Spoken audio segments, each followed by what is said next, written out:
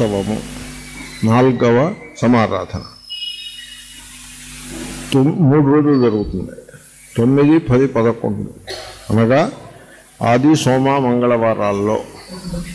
రేపు ఎల్లుండి మంగళవారం. ఇక తొమ్మిదో రోజు కార్యక్రమం. సాయంకాలం నాలుగున్నరకు గణపతి హోమము పాదుకా పూజ. రేపు. సాయంకాలం ఆరు గంటలకి భగవద్గీత ఉపన్యాసము ఏడున్నరకు హారతి యథాప్రకారంగా. వెను వెంటనే మహాప్రసాదము. మహాప్రసాదము అంటే ఏదో లడ్డూయో లేకపోతే ఏదో ఏదో ప్రసాదము అలా అనుకోద్దు మీరు. మహాప్రసాదం అంటే కూర పప్పు పులుసు పెరుగుతోటి భోజనం ఉంటుంది. అది నేను క్లియర్గా చెప్తున్నా. ఓకే? ఏదో మహాప్రసాదం అనేది సత్యనారాయణ ప్రసాదం ముద్దిచ్చి పంపిస్తారని అనుకోవద్దు మీరు భోజనం చేసి వెళ్ళ వెళ్ళండి. తప్పకుండా మహాప్రసాద కార్యక్రమంలో మీరు సంతోషంగా పాల్గొనగలరు. ఇక సోమవారం సాయంకాలం ఐదు గంటలకు నవగ్రహ హోమము ఆరున్నరకు భజన హారతి. ఓకే? మళ్ళీ పదకొండు అదే మంగళవారం. సాయంకాలం ఐదు గంటలకు సుదర్శన హోమము ఆరు గంటలకు పాదుకా పూజ సభ అయిన తర్వాత మహాప్రసాదం మళ్ళీ. మంగళవారం రాత్రి కూడా భిక్షా కార్యక్రమం ఉంటుంది. ఇక మంగళవారం ఆరు గం ఆరున్నరకు సభ. అంటే ఆరు గంటలకు పాదుకా పూజ అయిన తర్వాత సభ. ఆ సభలో ఆచార్య కసిరెడ్డి వెంకటరెడ్డి గారు అధ్యక్షులుగా ఉంటారు. స్మారకోపన్యాసాన్ని నిత్య జీవితంలో భగవద్గీత ప్రాముఖ్యం అనే దానిపై బ్రహ్మకుమార్ బ్రహ్మకుమార్ రాజయోగి త్రినాథ్ గారు. అంటే బ్రహ్మకుమారీస్ సంస్థకి చెందిన ఆయన వక్త అయి ఉంటారు. నేను చెన్నై నుంచి వస్తున్నారట. వారు భగవద్గీతకు నిత్య జీవితంలో ప్రాముఖ్యం అనే విషయమపై ప్రసంగిస్తారు. ఇది ప్రోగ్రాం యొక్క స్వరూప స్వభావములు. మీరందరూ గమనించగలరు. మంచిది మంచిది. ఓం. చక్రవర్తి గారు వచ్చారా? ఆ, వచ్చారు కూర్చోండి. ఏదైనా కొన్ని ప్రశ్నలు? ఓకే. పదహారు మీరు ఫిక్స్ చేసుకుంటారా? ఆదివారం? ఓకే ఫిక్స్ చేసుకుంటారు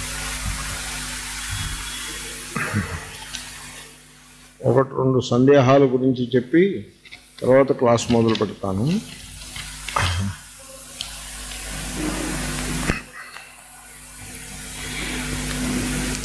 సత్సంగము ద్వారా అంటే శ్రవణ మననముల ద్వారా తన స్వరూపము దేహము మనస్సు కాదు.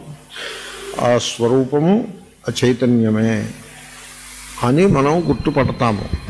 అని గుర్తుపట్టాలి. అది ఆ గుర్తుపట్టడం కేవలము శ్రవణము మననము ద్వారా గుర్తుపట్టి తరువాత నిధిధ్యాసనము అని కాదు. ఆ గుర్తుపట్టడంలో శ్రవణము మననము నిధిధ్యాసనము మూడు కూడా ఉపకరిస్తాయి. వాస్తవంలో నిధిధ్యాసనము యొక్క పాత్ర చాలా పెద్దది. గుర్తుపట్టి తర్వాత నిధిధ్యాసనం కాదు. నిధిధ్యాసనం ద్వారా గుర్తుపట్టుట. కాబట్టి శ్రవణం చేసి మళ్ళీ ఇంటి దగ్గర మీరు గ్రంథ పఠనము ద్వారా యోగ్యమైన గ్రంథ పఠనం ఉండాలి. శాస్త్రమునకు అనుకూలమైన గ్రంథాన్ని పఠించాలి. ఏదో గ్రంథం కాదు. ఇప్పుడు భగవద్గీత ఉందనుకోండి.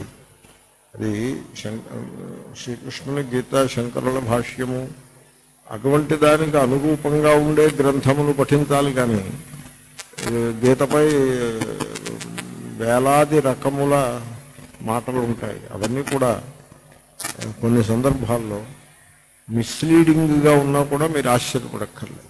మిస్లీడింగ్గా కూడా ఉండ ఉండే అవకాశం కలదు కొన్ని అయితే చాలా ఎలిమెంటరీగా అంటే ఏమీ లోతు గాంభీర్యం లేనివిగా ఉండిపోతాయి. చాలా మటుకి మిస్లీడింగ్గా కూడా ఉంటాయి. అటువంటిది ఏదో చదివి లేకపోతే విని మేము శ్రవణం చేస్తున్నాం అనుకోవడం కాదు.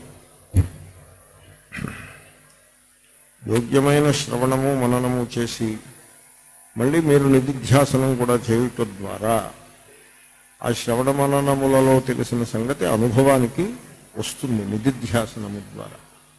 కాబట్టి ఆ నిధిధ్యాసనము ద్వారా ఆత్మస్వరూపమునందు నిలిచి ఉండుట ఆ విధంగా చేయాల్సి ఉంటుంది. అది ఎట్లు అని ప్రశ్న. ఆత్మనిష్టలో ఉండుట ఎట్లు ఈ ప్రశ్న ఎలాంటిదంటే నేను బజార్ల చుట్టూ తిరగకుండా ఇంట్లో ఉండడము ఎట్లు అన్నట్లుంది ఆ ప్రశ్న. అంటే ప్రశ్నని క్వశ్చన్ క్వశ్చన్ నేను క్వశ్చన్ చేస్తున్నాను అనుకోద్దు మీరు. క్వశ్చన్కి సమాధానం చెప్తున్నా. ఆ సమాధానం ఇలా చెప్తున్నాను. నేను బజార్లంపట తిరగకుండా ఇంట్లో ఉండడము ఎట్లు? ఆ ప్రశ్నకి సమాధానం ఏమిటో తెలుసునండి. మీరు బజార్లంపట తిరగకుండా ఇంట్లో ఉండండి. అది దానికి సమాధానం. ఓకే? అదేవిధంగా ఆత్మనిష్ట ఎట్లు? ఆత్మస్వరూపమునందు నిలిచి ఉండు ఉదాహరణకు మీకు ఎవడి మీదనో ఒక విసుగు అనిపిస్తుంది. చికాకు అనిపిస్తుంది. వాళ్ళ ప్రవర్తన మీకు నచ్చదు. అంటే అర్థం ఏంటి? మనస్సు అప్పుడే భేదమును సృష్టించింది. సాంసారిక విషయములకు ప్రాముఖ్యాన్ని ఇస్తోంది. అప్పుడు మీరు వెంటనే గుర్తు చేసుకోవాలి. వాళ్ళ ప్రవర్తన సరిగ్గా లేకున్నా స్వరూపములో వారు ఆత్మయే. నేను నేను ఏ చైతన్యమో వారు కూడా అదే చైతన్యమై ఉన్నారు. ఈ బాహ్యములైన ప్రవర్తన మాట తీరు అవి బాగుండవచ్చు బాగుండకపోవచ్చు. స్వరూపంలో తేడా లేదు అని మీరు గుర్తు చేసుకోవాలి. గుర్తు చేసుకుంటే ఏమవుతుంది? మీ రెస్పాన్స్ ఎలా ఉంటుంది? వాళ్ళు విసుక్కున్నారు కాబట్టి మనం విసుక్కుంటామా? వాళ్ళు చికాకు పడ్డారు కాబట్టి మనం చికాకు పడతామా? వాళ్ళు కోపం చూపించారు కాబట్టి మనం కోపం చూపిస్తామా? అవేమి ఉండవు. చిరునవ్వే ఉంటుంది. విసుగు చికాకు కోపమునకు సమాధానము చిరునవ్వు ఉంటుంది. దాని పేరే ఆత్మనిష్ట. అది ప్రాక్టికల్గా. తర్వాత మనల్ని ద్వేషించి తిట్టి మనకు అపకారం చేసిన వాటిని కూడా మనము ప్రేమించే విధంగా ఉన్నారనుకోండి దానికి ఆత్మనిష్ట అని పేరు.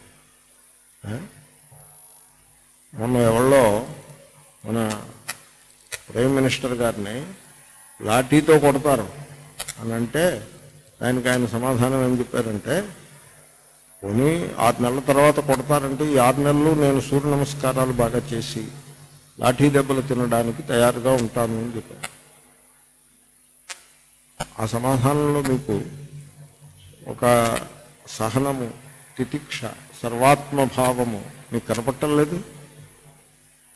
అంటే వారు భగవద్గీత తెలిసి ఎగ్జాక్ట్గా అలా చేస్తున్నారని నేను అంటలేదు. వారు వారు చేస్తున్నది ఒక ఆత్మనిష్టకు అనురూపంగా ఉన్నది వారు చెప్పిన మాట. అంటే ఇతరులు నిందించినా కూడా మనం ప్రేమతోటే దానికి రిప్లై ఇవ్వటం. అలాగే అందరూ మా భారతీయులే అందరినీ నేను ప్రేమిస్తాను అని ఒక ఒక దేశ ప్రధాని అన్నారంటే మనం భగవద్గీత చదువుకుంటున్న వాళ్ళు మనం ఏమనాలి? సకల ప్రాణులు ఆత్మస్వరూపులే అని మనం అనగలగాలి ఆ రకంగా మన చేష్ట కూడా ఉండాలి. సంకల్పము కూడా దానికి తగ్గట్టుగా ఉండాలి. ఈ విధంగా సంకల్పము పలుకు చేష్ట ఈ మూడింటిని సర్వాత్మభావమునకు అనురూపముగా మీరు తీర్చిదిద్దుకుంటూ ఉన్నట్లయితే క్రమంగా మీరు ఆత్మనిష్టలో ఉన్నట్లు అవుతుంది.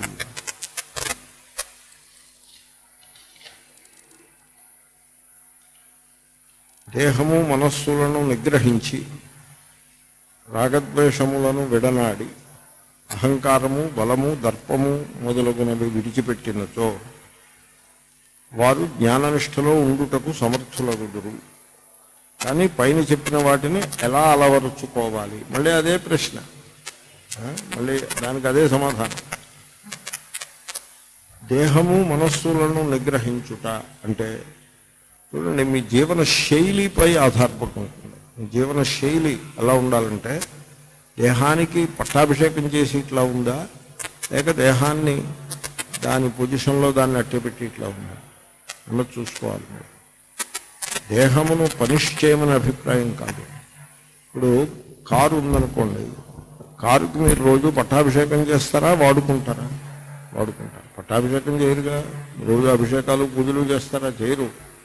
లేకపోతే టైర్లకి పాద పూజలు అని పేరు పెట్టి టైర్లకి పూజలు అలా ఏం చేయరుగా? బొట్లు అవి పెడతారా లేకపోతే? ఏదో మొదటి రోజు పెట్టుంటారు. ఇంకా రోజు బొట్లు ఏం పెట్టరుగా? మీరేం చేస్తారు? కారుని చక్కగా వాడుకుంటారు. అవసరమైన మేరకు వాడేసుకుంటూ ఉంటారు. తర్వాత దానికి ఎప్పుడైనా రిపేర్లు అవి వస్తే చేయిస్తారు. దాంట్లో పోసే ఆయిల్ మంచి క్వాలిటీ ఆయిల్ పోయించుకుంటారు ఇప్పుడు ఈ- బంకులు ఆయిల్ బంక్స్ ఉంటాయి. వాటిల్లో కొన్ని కల్తీ చేస్తాయనే ఒక ఒక అభిప్రాయం ఉంది. అటువంటి వాటిని పరిహరించి ఏ బంకులో అయితే కల్తీ ఉండదు వాళ్ళు వాళ్ళు నిక్కచ్చిగా మనకి మంచి ఆయిల్ ఇస్తారు అని అంటారో ఆ బంకుకు వెళ్ళి మీరు ఆయిల్ నింపుకుంటారు. ఎంత అవసరమో అంతే పోయించుకుంటారు. కారు టైర్లని అలైన్మెంట్ అప్పుడప్పుడు చేయించుకుంటారు. కార్పొరేటర్ అవన్నీ అప్పుడప్పుడు క్లీన్ చేసి పెట్టుకుంటారు. ప్లగ్ పిన్ అవి కూడా క్లీన్ చేసి పెట్టుకుంటారు. బహుశా ఇవన్నీ ఇప్పటి కార్లలో కూడా అలాగే ఉండి ఉంటుంది పైన ఎలక్ట్రిక్ కార్లు వస్తే ఈ మాటలన్నీ మారుతాయి. అలా కార్ని చక్క కండిషన్లో పెట్టుకుంటారు. నెంబర్ వన్ కార్ని అవసరమైన మేరకు వెనుకాడకుండా వాడుకుంటారు. మీరు అదే పనిని దేహానికి చేయాలి. అంతే. దీంట్లో పెద్ద నిగ్రహించడం అనే అంత బరువైన మాటలు అక్కర్లేదు. అదే పనిని దేహానికి చేయాలి. తర్వాత మనస్సు. మనస్సు నిగ్రహించడం అంటే మొత్తం హఠయోగం అంతా వచ్చేస్తుంది. దడ దడ దడ వచ్చి కూర్చుంటుంది. అది మీరు నిర్వహించలేరా హఠయోగాన్ని? అలా అక్కర్లేదు. మీరు చేయాల్సిందల్లా అందరూ ఒకే ఆత్మస్వరూపులు.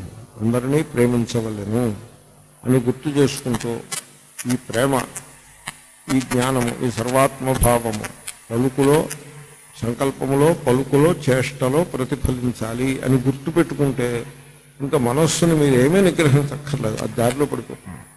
రాగద్వేషాలన్నీ అవతలికి పోతాయి. అహంకారము అన్నీ పోతాయి. ఇదొక్కటి గుర్తుపెట్టుకుంటే గుర్తు పెట్టుకుంటే సరిపడుతుంది. సో రెండు ప్రశ్నలకి సమాధానం చెప్పాను కదా. ఇంకో రెండు మూడు ప్రశ్నలకి మళ్ళీ క్లాసులో సమాధానం. ॐ श्रुतिस्मृतिपुराणानामालयं करुणालयं नमामि भगवत्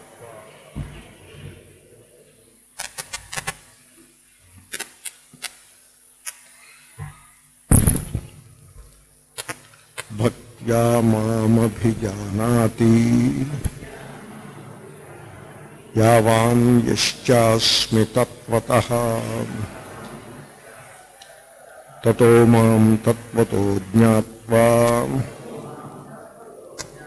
విశతే తదనంతరం సో పరమాత్మను ఎట్లు గుర్తుపట్టవలను? ప్రశ్నల్లో ఉన్నది దానికి ఈ శ్లోకమే సమాధానం. భక్తితో పరమాత్మను గుర్తుపట్టవలను. భక్తి అనగానేమి? భక్తి అంటే ప్రేమ. అంటే లోకంలో ఈ మాట చెప్పాను ఆయన మళ్ళీ చెప్పేస్తున్నా. శ్లోకం చదివాను కదా ఆయన చేత కొద్దిగా. లోకంలో దృష్టి ఉంటుంది. ఆ దృష్టి ఏమిటంటే ప్రేమ భక్తి అవదు దేవుడిపై ప్రేమ భక్తి అవుతుంది అని ఒక దృష్టి ఈ దృష్టి ద్వైత బుద్ధి నుంచి వచ్చింది. జగత్తు వేరు దేవుడు వేరు అనే బుద్ధి నుంచి ఇప్పుడు జగత్తుని ప్రేమిస్తే సంసారము దేవుణ్ణి ప్రేమిస్తే భక్తి అని వెడగొట్టాల్సి వచ్చింది. సపోజ్ ఏది జగత్తని మీరు భ్రమపడుతున్నారో అదే దేవుడు అనుకోండి. అప్పుడు ఏమవుతుంది? అప్పుడు ఏం చేయాల్సి ఉంటుందంటే జగత్తును మిథ్యా అని తెలుసుకుంటూ దాంట్లో జగత్తులో ఉండే మిథ్యాంశము నామరూపములు దానిని ప్రేమించడం మానేసి జగత్తులో ఉండే సత్యాంశము పరమాత్మ దానిని ప్రేమిస్తే అది భక్తి అంటే ఏమైంది అక్కడికి ఫలానా దానిపై భక్తి ప్రేమ అని చెప్పనక్కర్లా సర్వమున సర్వముపై ప్రేమ. ఎందుకని? సర్వం కల్విదం బ్రహ్మ. సర్వము రూపముగా పరమాత్మయే ఉన్నాడు. ఉన్నది పరమాత్మయే. మీరు తెలుసుకునేది జగత్తు. ఉన్నది పరమాత్మ. మాట కొంచెం గట్టిగా పట్టుకోండి మీరు. ఉన్నది మట్టి. మీరు అనుకునేది కుండా బాణ ఇత్యాది. మీరు అనుకునే కుండా బాణ ఇత్యాది నామరూపములు కల్పితము అజ్ఞాన కల్పితములు మిథ్య ఉన్నది ఏది? మట్టియే. ఉన్నది బంగారమే. నెక్లెస్ ఏమంటే దాని ముఖం చూస్తే తెలియట్లేదండి. నెక్ మీకుంటుందా బంగారానికి ఉంటుందా? నేను ఎన్నోసార్లు చెప్పాను. నెక్ నెక్ అంటే కంఠము. కంఠం మీకుంటుందా బంగారానికి ఉంటుందా? బంగారానికి ఉంటుందా? కానీ మీరేం చేశారు? ఆ కంఠాన్ని తీసుకెళ్ళి బంగారం ఎత్తిన పెట్టారు. బంగారాన్ని చూపించి ఇది కంఠహారము అని అంటున్నాను నయం కంఠం అన్నారు కాదు. కంఠ అది బంగారమా కంఠహారమా? బంగారం. మీరు కంఠహారము అని అనుకుంటున్నారు. మీరు అనుకునేది అజ్ఞాన కల్పితము. అక్కడ ఉన్నది బంగారం. అలాగే నీరు ఉంటుంది అక్కడ నీరు ఉంటుంది దానికి స్పేస్ టైం కలిపి స్పేస్ టైం అనే పెరామీటర్స్ని అవి మెంటల్ పెరామీటర్స్. అన్నిటి మీద పెట్టి దాన్ని ఏమన్నారు? వేవ్ తరంగము అన్నారు. ఆ స్పేస్ టైం తీసేశారనుకోండి తరంగంలో ఉండే స్పేస్ టైం తీసేసేయండి. తీసేస్తే అంటే దానికి వేవ్ లెంగ్త్ యాంప్లిట్యూడ్ తీసి wave length space amplitude time తీసేయండి సపోజ్ ఫ్రీక్వెన్సీ టైము తీసేయండి అది. ఇంకేం మిగిలింది? నీరు మిగిలింది. కాబట్టి దాంట్లో ఉండవు. ఫ్రీక్వెన్సీలు వేవ్ లెంగ్త్లు దాంట్లో ఉండవు. ఈ క్యాల్కులేట్ చేసేవాడు బుర్రలో ఉంటాయి కాబట్టి మీరు సూపర్ ఇంపోజ్ చేసినవి తీసేస్తే మిగిలి ఉన్నది బ్రహ్మయ్య కాబట్టి సర్వమును తెలుసుకొని ప్రేమించవలేదు ఎలా తెలుసుకుని? సర్వమును బ్రహ్మగా తెలుసుకుని ప్రేమించవలేదు సర్వమును ప్రేమించవలేదు కాబట్టి ఇక్కడ జగత్తు వేరు దేవుడు వేరు అని విడగొట్టి ఈ జగత్తుని ప్రేమించడం మానేసి ఆ దేవుణ్ణి ప్రేమించండి అనే ద్వైతం ఉండదు ఇక్కడ. అంచేతను ఇదంతా నేను ఏదో చేతస్థంగా చెప్పాను. నేను చెప్పదలుచుకున్న మాట ఇంతే. దేవుడిపై ప్రేమ అని అనక్కర్లేదు.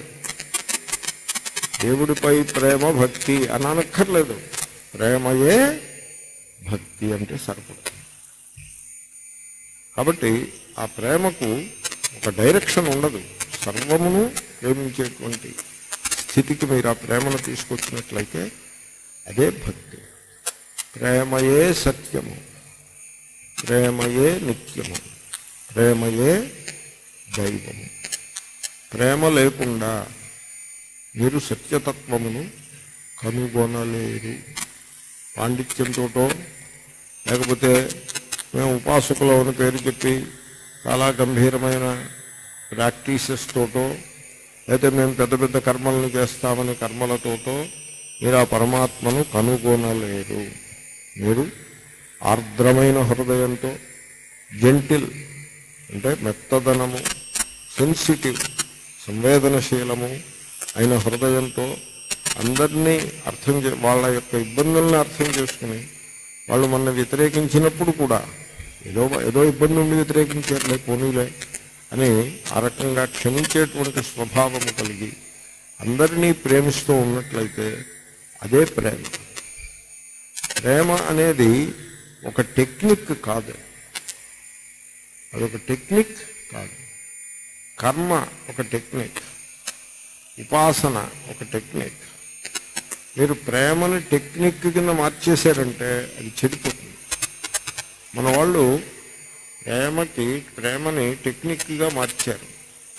ఎలాగా? ఇప్పుడు నాన్నగారి మీద ప్రేమ ఉందనుకోండి ఫాదర్స్ డే నాడు ఆయనకి ఏదో బహుమానం ఇవ్వడం. ఏమిటి బహుమానం ఇస్తారు? ఆయనకి పాన్ తినే అలవాటు ఉంటే బంగారం వెండితో చేసిన పాన్ డబ్బా బహుమతి ఇవ్వడం ఆ పాన్ తిని తిని ఆయన క్యాన్సర్ వస్తుంది ఆయనకి.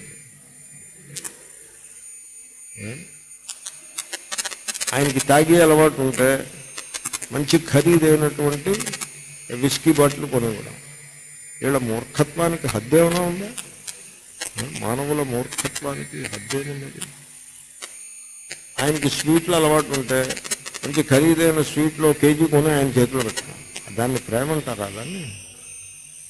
కాబట్టి ప్రేమ అనేది ఒక టెక్నిక్ కాదు.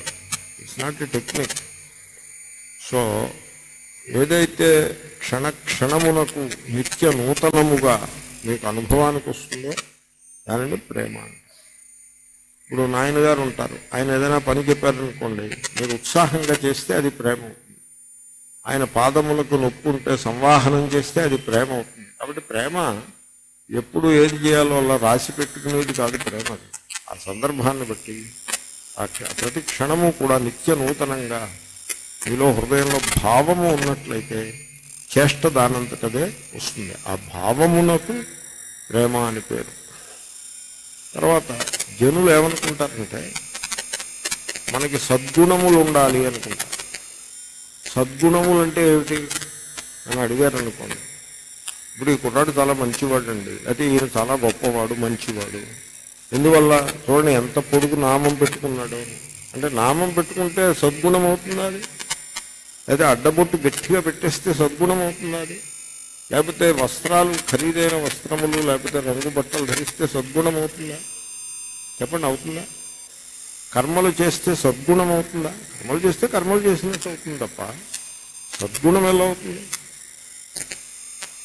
కాబట్టి ప్రేమను కలిగి ఉండుటయే సద్గుణము. అది ఏ సద్గుణము. కాబట్టి ప్రేమ అది ఒక టెక్నిక్ కాదు అది. అది ఒక సద్గుణము. అది స్వరూపము. ఆత్మస్వరూపము నుంచి ప్రకటమయ్యేటువంటి సద్గుణం తర్వాత మీకు ఎప్పుడైతే ఆ ప్రేమ అనే సద్గుణం ఉంటుందో మీలో ఒక స్వాతంత్ర్యం కూడా ఒక ఫ్రీడమ్ కూడా మీకు వస్తుంది.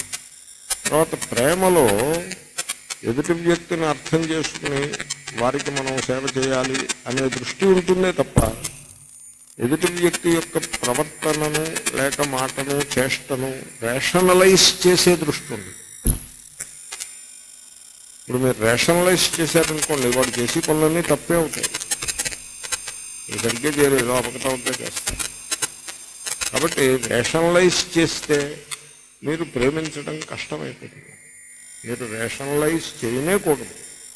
వాళ్ళ చేష్టలను రేషనలైజ్ చేయకూడదు. ఇప్పుడు ఒక యంగ్ మ్యాన్ ఉన్నాడు.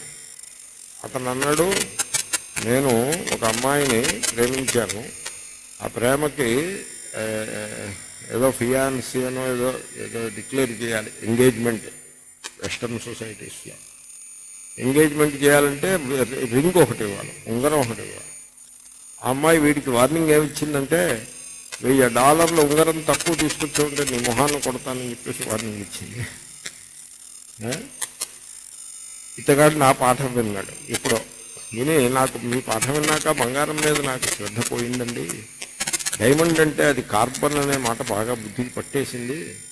నేను వెయ్యి డాలర్లు పెట్టి బంగారపు ఉంగరం డైమండ్ రింగ్ ఉండడం నాకు ఇష్టం లేదు ఇప్పుడు ఏం చేయాలి? నేను చెప్పాను ఈ రేషనలైజేషన్ అంతా పెట్టకు. దాన్ని ప్రేమ అనరు దాన్ని దాన్ని విజ్ఞా బుద్ధి అంటారు తప్ప ప్రేమ అనరా కాదని నువ్వు ఇలాంటి వేషాలన్నీ కట్టిపెట్టాయి. నువ్వు ఎప్పుడూ డైమండ్ రింగ్ పెట్టుకోకు. నేను చెప్పిన పాఠానికి తాత్పర్యం ఏంటంటే నువ్వు ఎప్పుడు డైమండ్ రింగ్ పెట్టుకోకు వాళ్ళు ఇప్పటికే పెట్టుకుంటే అవతల పారేయదాన్ని అవతల పారేయడం ఆ మురికాలలో పారాయడం. ఇంకా అంతకంటే తక్కువ అంత అంత అనాదరణ దాని మీద నువ్వు కలిగి ఉండు. కానీ ఆ అమ్మాయి నిన్ను డైమండ్ రింగ్ పెట్టి కొనమంది కనుక నువ్వు చక్కగా బుద్ధిమంతుడిలాగా ఆ టిఫిన్ అండ్ కంపెనీకి పోయి ఓ థౌజండ్ డాలర్స్ పదిహేను వందల డాలర్లో వాళ్ళ ముఖాన్ని పడేసి ఆ రింగు తీసుకొచ్చి మంచి ఖరీదైన పెట్టెలో పెట్టి ఆ పెట్టి చుట్టూ రంగు కాగితం కట్టి దాన్ని ఒక ఎర్రని ముఖములు సంచిలో పెట్టి ఆ సంచికి బంగారు రంగు కలిగిన రిబ్బన్తో ముడివేసి ఆవిడ చేతిలో పెట్టు. అలాగా కాబట్టి ప్రేమ దగ్గరికి వచ్చేప్పటికీ రేషనలైజేషన్ ఉండదు. అది ఇప్పుడు చిన్నపిల్లల్ని చిన్నపిల్లలు చెప్పిన పనుల్లో మీరు చేస్తారు. రేషనలైజ్ చేస్తారా? చిన్నపిల్లాడు వచ్చి తాత కూర్చో అంటాడు. అంటే ఏ వయసుడే సిట్ అంటారా మీరు? కూర్చుంటారు. తాత గడప్ అంటాడు. అంటే మీరు నిలబడతారు. చిన్నపిల్లలతో మీరు రేషనలైజ్ చేయండి. ఆ ప్రేమని అలాగా రేషనలైజేషన్ పక్కన పెట్టేసి అంటే మెదడుని పక్కన పెట్టి హృదయమునకు ప్రముఖ స్థానమునిచ్చి ప్రేమించుట. దీని పేరు భక్తి. ఇటువంటి భక్తిని మీరు కనుక బాగా అనుభవానికి తెచ్చుకుంటారు అంటే ఫీలింగ్ భక్తి అంటే ఒక ఫీలింగ్ ఫీలింగ్ అంట భావము. జ్ఞానము కాదు అదే త- తర్కము కాదు. భావము తర్కం ఎక్కడ ఉంటుంది? భావం ఎక్కడ ఉంటుంది? కాబట్టి ఆ భావమే ప్రేమ. తర్వాత ప్రేమ ఉన్నప్పుడు చేసే పని చాలా సహజంగా ఉంటుంది. దాంట్లో తర్కంతో చేసే పని చాలా డెలిబరేట్గా ప్రీ క్యాల్కులేటెడ్ అండ్ ప్రీ మెడిటేటెడ్గా ఉంటుంది. ప్రేమతో చేసే పని సహజంగా ఉంటుంది. మీరు ప్రేమతో ఇచ్చేప్పుడు ఆలోచన లేకుండా ఇచ్చేస్తారు. తర్కంతో ఇచ్చేప్పుడు పదిసార్లు ఆలోచించి పిసికి పిసికి ఏదో పిసరిస్తారు కాబట్టి ఆ తేడా ప్రేమకు సహజత్వం అనేటువంటి లక్షణం ఉంటుంది. కాబట్టి ఆ ప్రేమతో మీరు ప్రేమను ఎప్పుడైతే అనుభవానికి తెచ్చుకుంటారో ఆ ప్రేమయే మీకు దైవమే అనుభవానికి వచ్చినట్లు అర్థము. ఆ విధముగా ప్రేమను అభ్యసించుట ద్వారా మీరు పరమాత్మ స్వరూపాన్ని ఇప్పుడు ఇక్కడ తెలుసుకోగలుగుతారు. ఇది ఆ శ్లోకాన్ని చదివిన వెంటనే నాకు తోచిన నాలుగు మాటలు చెప్పాను ఇప్పుడు భాష్యాన్ని మనం కొనసాగిద్దాం. ఈ భాష్యంలో విశేషం ఏమంటే ఒక వేదాంత శాస్త్రము యొక్క ఒక కఠోరమైన అనగా అత్యంత ప్రధానమైనటువంటి ఒక విషయాన్ని భాష్యకారులు ఈ సందర్భంలో ప్రస్తావిస్తూ ఉన్నారు. అదేమిటంటే అత్ర సర్వం నివృత్తి విధాయి శాస్త్రం వేదాంతేతిహాస పురాణ స్మృతి లక్షణం అర్థవద్భవతి అత్ర అంటే దీని ఎందు. దీని ఎందంటే జ్ఞాననిష్ట. ఆ ప్రేమతో పరమాత్మను గుర్తుపట్టుటయే జ్ఞాననిష్టనగా ఆ భక్తి జ్ఞానరూపమైన భక్తి దాని ఎందు ఇవన్నీ సార్థకములు అవుతాయి. ఇప్పుడు వీడు అనారోగ్యంతో హోట హాస్పిటల్లో జాయిన్ అయ్యాడు అనుకోండి అక్కడ వాడికి ఓ చక్కటి బెడ్ ఇస్తారు. ఆ బెడ్ పక్కన మందులు పెట్టుకునే టేబుల్ పెడతారు. నర్సులు ఏదో సర్వీస్ చేస్తారు. పారామెడికల్ స్టాఫ్ సర్వీస్ చేస్తారు. డాక్టర్లు విజిట్లు చేస్తారు. మందులు రాస్తారు. ఏవో ఇంజక్షన్లు చేస్తారు అవసరమైతే ఆపరేషన్ కూడా చేస్తారు. ఇవన్నీ దేనికోసం చేస్తున్నారు? వాడు సంతోషంగా ఆరోగ్యంగా ఇంటికి వెళ్ళడం కోసం. అంతేగాని అక్కడ అట్టే పెట్టుకోవడం కోసం చేస్తున్నారు. వాడు ఆరోగ్యంగా ఇంటికి వెళ్ళాలి. అదేవిధంగా ఉపనిషత్తులు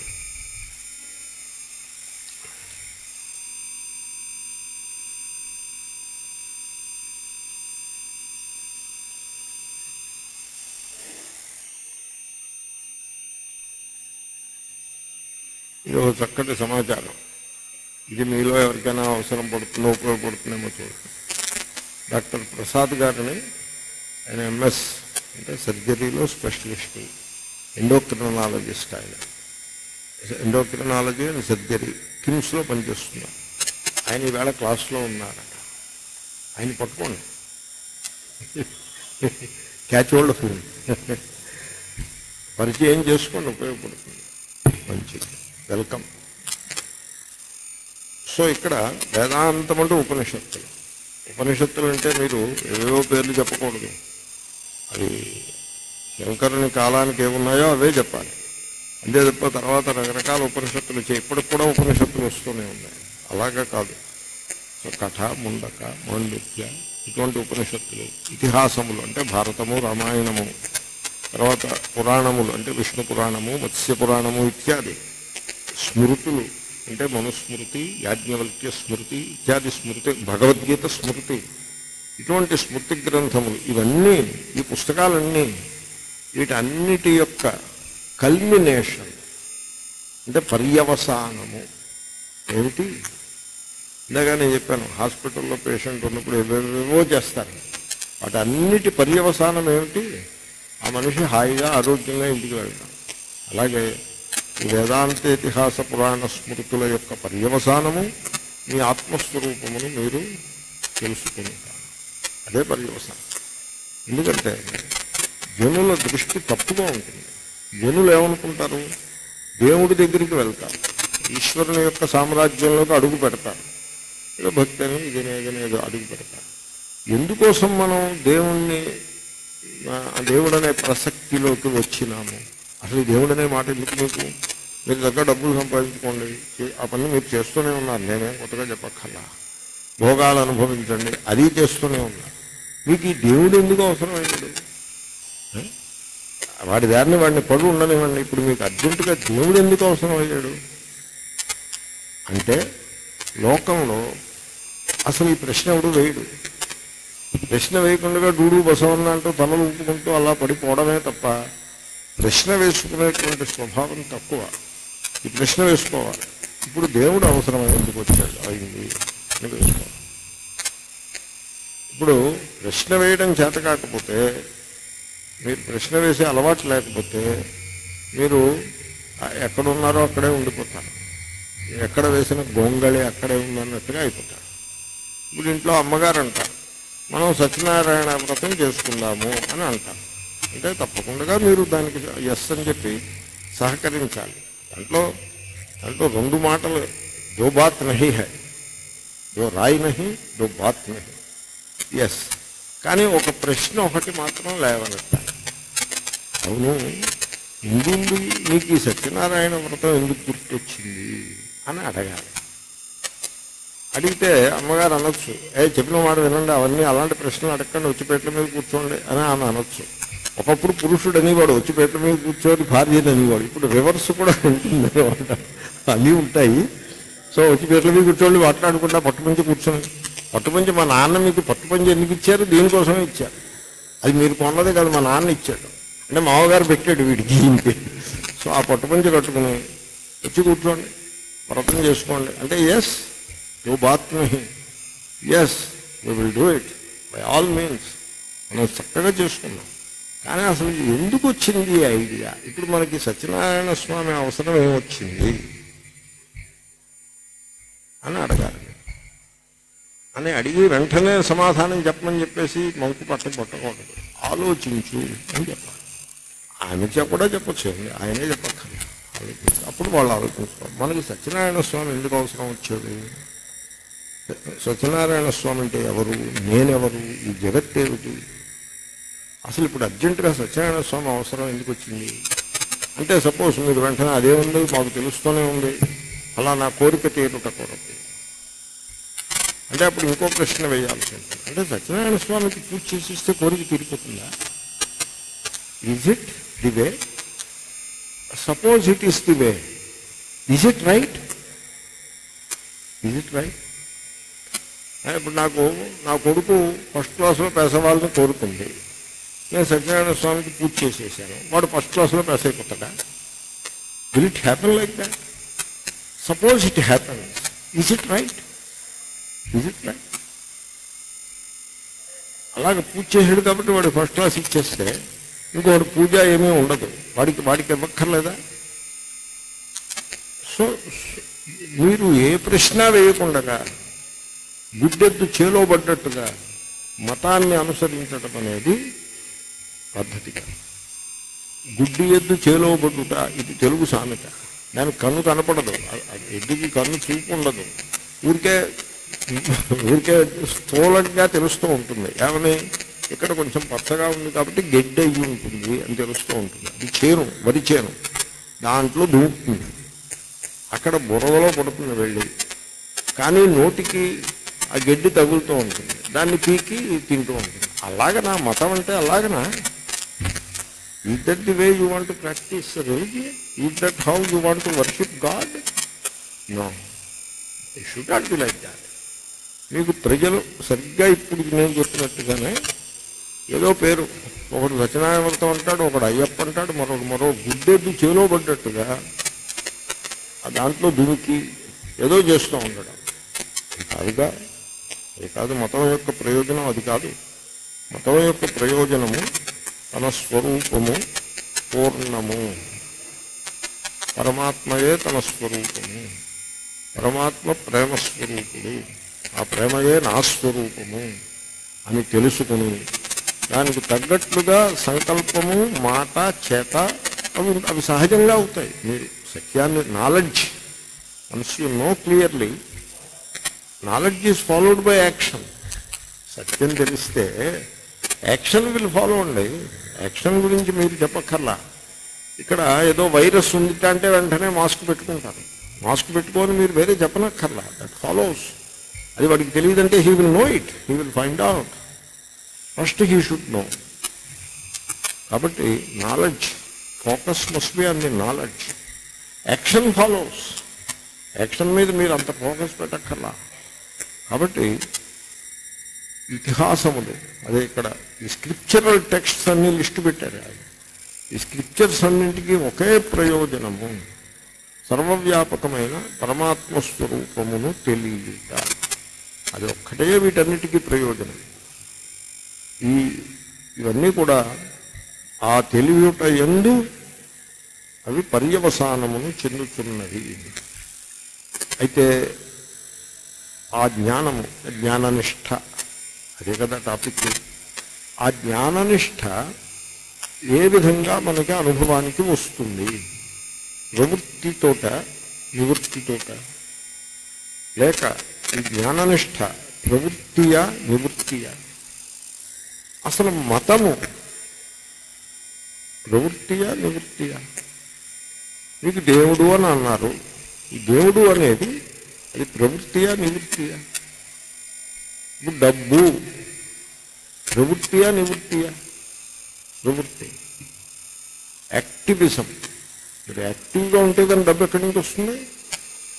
తర్వాత భోగములు. ప్రవృత్తియా నివృత్తియా? ప్రవృత్తి. ఏవో కర్మలను చేసి స్వర్గమును పొందుట. ప్రవృత్తియా నివృత్తియా? ప్రవృత్తి. ఉపాసన ద్వారా ఏదో లోకమును పొందుట. ఏదో ఏదో లోకాల పేర్లు ఏవో ఉన్నాయి. పది పేర్లు ఉన్నాయి. వాటిల్లో ఏదో లోకాన్ని పొందుట. ఆ ఉపాసన చేస్తే ఆ లోకమును పొందుట. అది ప్రవృత్తియా నివృత్తియా? ప్రవృత్తి. తన స్వరూపము పూర్ణము పరమాత్మయే అని తెలియట. ఇదేమిటిది? నివృత్తిది. ప్రవృత్తి వేరు నివృత్తి వేరు. కర్మ వేరు జ్ఞానం వేరు. కర్మని జ్ఞానాన్ని ఒకే గాట కట్ట రాదు. Karma is action which is effort which is practice in time కర్మకి టైం ఉంటుంది time is a fundamental element that is associated with effort action action అన్నా ఎఫర్ట్ అన్నా ఉంటాయి.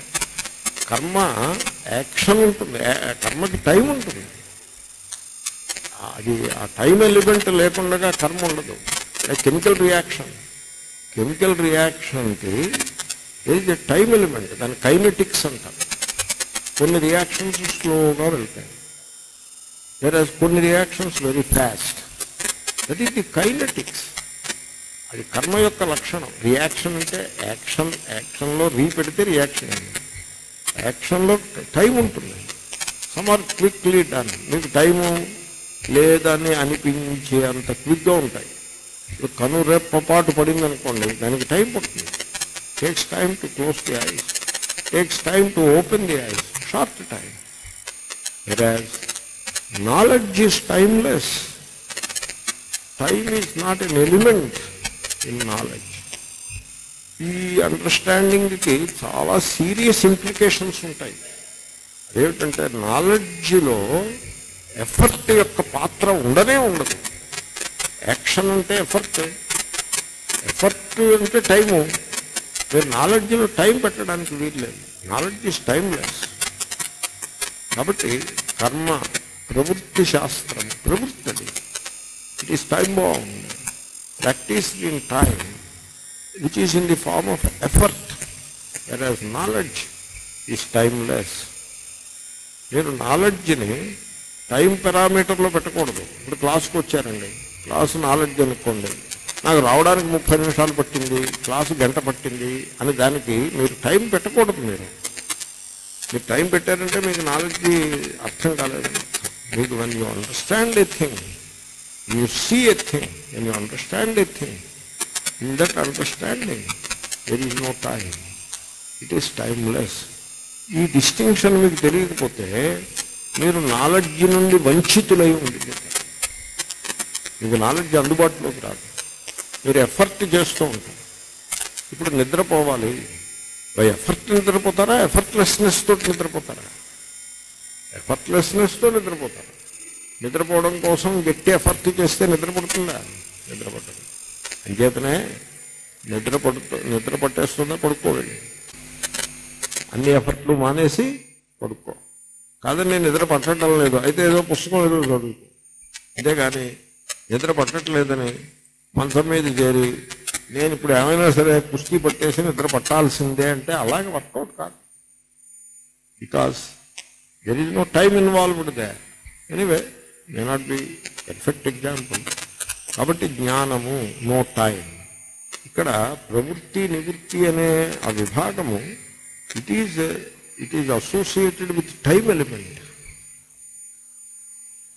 కర్మ ఉందనుకోండి it is performed in time దానికి రిజల్ట్ ఉంటుంది. It will come in time and the result as and when it comes it it gets exhausted it in time కర్మ కాలములో పుడుతుంది. కొంతకాలం తర్వాత పరిపక్వమై ఫలమునిస్తుంది.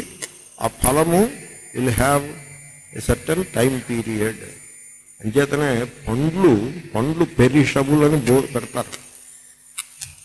ఫ్రూట్ బాక్స్ ఉంటుంది చూసారా? పైన ఏం రాస్తారు? పెరిషబుల్ గుడ్స్ అని రాస్తారు. పెరిషబుల్ గుడ్ అని అంటే గుడ్స్ అంటే లోపల పళ్ళు ఉన్నాయని అర్థం. కర్మఫలములు కూడా పళ్ళే. అవి కూడా పెరిష్ అయిపోతాయి so this is how karma happens అంచేత ఇప్పుడు ప్రవృత్తి నివృత్తి. ఇప్పుడు ఇక్కడ చెప్పిన జ్ఞాననిష్ట. అలాగే ప్రేమ ఆత్మజ్ఞానము పరమాత్మ యొక్క స్వరూపమును అరయుట ఇవన్నీ ఒకటేనండి. ఇన్ని మాటలు చెప్పినా అవన్నీ ఒకటే మూమెంట్ అది. ఒకటే చేతన. ఇది ప్రవృత్తి శాస్త్రమా నివృత్తి శాస్త్రమా అని ఒక టాపిక్ని శంకర్లు ఎత్తుకున్నారు. ఆయన ఏమంటున్నారంటే ఇది నివృత్తి శాస్త్రము నివృత్తి విధాయి శాస్త్రం. మీకు నివృత్తిని బోధిస్తూ ఉన్నది ఇప్పుడు చూడండి సత్యమును మీరు తెలుసుకోవాలనుకుంటున్నారా జీవితంలో? జనాలు ఎవరు అలా అనుకోరు. ఏమనుకుంటారంటే డబ్బు సంపాదించాలనుకుంటారు భోగాలు అనుభవించాలనుకుంటారు. అంతే తప్ప సత్యాన్ని మాకు సత్యము కావాలని అనుకునేవాడు మీకు ఎవరైనా కనపడ్డారా? కనపడరు చాలా తక్కువ. పూజలు అవి చేసే వాళ్ళు కూడా ఏదో పుణ్యం వస్తుంది ఈ లాభాలు వస్తాయి ఆ లాభాలు వస్తాయి ఈ కష్టాలు తొలగుతాయి ఆ భయాలు పోతాయి అని పూజలు చేస్తున్నారు తప్ప సత్యం కోసం ఏం చేయటం లేదు. కానీ మీరు ఇక్కడ శాస్త్రము సత్యాన్ని బోధించే శాస్త్రము కదా. మీరు సత్యమును మీరు అన్వేషిస్తున్నారా? Is that what you want you want to know the truth ఏది సత్యమో? సత్యనారాయణ అనే పేరు అలాగే వచ్చింది. ఇంకా పక్కన నారాయణ పెట్టారు. పక్కన డూ కూడా పెట్టారు. సత్యనారాయణుడు అని. అంటే ఓ పెద్ద ఆయన కనపడతాడు. సత్యం అనే మాట ఎక్కడికో పోయింది గాలిలో. కాబట్టి are you in search of the truth are you in search of love ప్రేమ యొక్క అనుభవము నాకు కావాలి. సత్యము అనుభవమునకు నాకు రావాలి. ఇదే మీ యొక్క గోల్? ఇది గోల్ అయితే మీరు బయట వెతకాల్సిందేమీ లేదు. మీరు చేయాల్సిందల్లా కూడా అంతర్ముఖులై ఉండుటయే. మీరు లోపల వెతుక్కోవాలి. అంటే జ్ఞాననిష్ట అంటారు దీన్ని. జ్ఞాననిష్ట నివృత్తి శాస్త్రం. ప్రవృత్తి శాస్త్రం కాదు. కాబట్టి మీరు లోపల వెతుక్కోవాలి. మీరు లోపల వెతుక్కోవడం మానేసి మీ లోపల మీరు శోధించుట పరిశీలించుట ఇత్యాది ప్రక్రియ ఏది గలదో ఇప్పుడు మనం చేస్తున్న పని అదే కదా. అది మానేసి మీరు వీళ్ళ చుట్టూ వాళ్ళ చుట్టూ సత్యం కోసం తిరిగితే అది ప్రవృత్తి. దానివల్ల మీకు సత్యము లభించదు. మతం పేరుతో ఏమో కర్మలు చేస్తే సత్యము మీకు లభించదు. మీకు సత్యము అనుభవానికి రావాలంటే మీతో మొదలు పెట్టాలి. మీ ఎల్లు మొదలు పెట్టాలి. You have to start with yourself search in yourself that is the law కాబట్టి మీలో మీరు అన్వేషణ చేయాలి. మిమ్మల్ని మీరు తెలుసుకోవాలి. అంటే అది ప్రవృత్తే నివృత్తే. నివృత్తి శాస్త్రం అది నివృత్తి అవుతుంది ప్రవృత్తి అవుతుంది ఇప్పుడు సపోజ్ సమాజంలో పరిస్థితులు బాగులేవు అని మీకు అనిపించింది అనుకోండి అనిపిస్తే మీరు సమాజం అనే దాంట్లోకి దుమికి ఆ పరిస్థితులను బాగు చేస్తే అది ప్రవృత్తి అవుతుంది అలా సమాజం బాగుపడుతుందా? లేక సమాజంలో ఏది బాగులేదో అది మీ ఎందు బాగుండకపోవడం చేతనే సమాజంలో బాగులేదు అని మీకు అనిపించినది. కాబట్టి మీలో ఒక మార్పు రావాల్సి ఉంటుంది అని మీలో మీరు చూసుకుని మీ ఎందు మార్పు తెచ్చుకుంటారు. అది నివృత్తి అవుతుంది. కాబట్టి ఇప్పుడు సమాజం బాగుపడాలంటే ప్రవృత్తి చేయాలా నివృత్తి చేయాలా? మీరు ఎవరినైనా అడిగితే వాళ్ళు ప్రవృత్తి ద్వారా సమాజం బాగుపడుతుందని అందరూ చెప్తారు. కానీ మహాత్ములు ఏమని చెప్తారంటే ఆ మార్పు ఏదో నీలో నువ్వు చూసుకో నిన్ను నీవు పరిశీలించుకో. ఏ మార్పు నీవు సమాజంలో కోరుతున్నావో అది నీలో నీవు తెచ్చుకో అని చెప్తారు. అది ఏమైంది ఇప్పుడు? నివృత్తే. కాబట్టి ఇది నివృత్తి విధాయకం శాస్త్రం. దీనికి ఇంకొక దృష్టాంతం చెప్తాను మీకు బాగా అర్థం కోసం నేను ఏవో దృష్టాంతాలు చెప్తూ ఉంటాను ఇది ఇంట్లో కలహం ఉందనుకోండి. ఇంట్లో కలహం అంటే ఉందండి భార్యాభర్త కీచులాడుకుంటారు అయితే తండ్రి కొడుకు కలహం ఇది. As old as the creation itself okay కలహం ఉందనుకోండి. ఇప్పుడు ఈ కలహమును పరిష్కరించాలి కదా. పరిష్కరించాలంటే మీరు ఎలా పరిష్కరిద్దాం అనుకుంటారు? ప్రవృత్తి ద్వారా పరిష్కరిస్తాం అనుకుంటారు. ఏదో చేస్తే పరిష్కారం అవుతుంది. ఏం చేయాలి? నాలుగు చీవాట్లు పెట్టడం అవతల వాడిని అవతల వాటితో కలహించటం వాడి మీద కొన్ని కండిషన్స్ పెట్టడం అయితే ఆమెపై కొంత అజమాయిషీ పెట్టడం ఇలాంటివేవో మొదలుపెట్టి తద్వారా ఆ పరిస్థితిని చక్కదిద్దాలి అని మనిషి ప్రయత్నిస్తాడు. అవునండి? ఏమంటే మీరు గుండె మీద చేయవేసుకుని చెప్పండి. భార్యను కానీ కొడుకును కానీ అజమాయిషీ చేసి అదుపులో పెట్టి మీరు మీ వశము చేసుకోగలమని అనుకుంటున్నారా మీరు? మీరు అనుకుంటున్నారా? ఎవడైతే ఆకాశమును చాపవలే చుట్టగలుగుతాడో వాడు మాత్రమే భార్యను కొడుకుని వశం పెట్టుకోగలుగుతాడు. భార్య కాకపోతే భర్త. అంటే ప్రవృత్తి ఫెయిల్ అయిపోతుంది. ప్రవృత్తి పనికిరాదు అక్కడ. మరి ఏమిటి మనకు వస్తుంది నివృత్తి. మీరు నివృత్తి మార్గాన్ని ఆశ్రయించండి. అన్ని సమస్యలు పరిష్కారం ఎవ్రీథింగ్ విల్ బి రిజాల్వ్ దీనికి దృష్టాంతం చెప్తారు అద్దంలో ముఖం ఏమీ బాగులేదు. ఇప్పుడు ఏం చేయాలి? అద్దాన్ని అద్దం మీద అటాక్ చేస్తారా? లేకపోతే అద్దాన్ని ఏదో మార్పు చేసే ప్రయత్నం చేస్తారా? లేకపోతే ఈ అద్దాన్ని అవతల పారేసి కొత్త అద్దాన్ని తీసుకొచ్చి అక్కడ పెడతారా? సరిగ్గా అర్థం చేసుకోండి దృష్టాంతాన్ని. అవేమీ చేయరు. మీరేం చేస్తారంటే సబ్బు తీసుకుని ముఖం కడుక్కుంటారు. అంతే కాబట్టి ఇక్కడ ప్రవృత్తి శాస్త్రము కాదు ఇది నివృత్తి శాస్త్రము. అంచేతనే శంకరులు దృష్టాంతం చెప్తున్నారు. విదిత్వా వ్యుత్య అథ భిక్షాచర్యం చరంతి. తెలుసుకో విదిత్వ తెలుసుకో. అది ప్రవృత్త నివృత్త?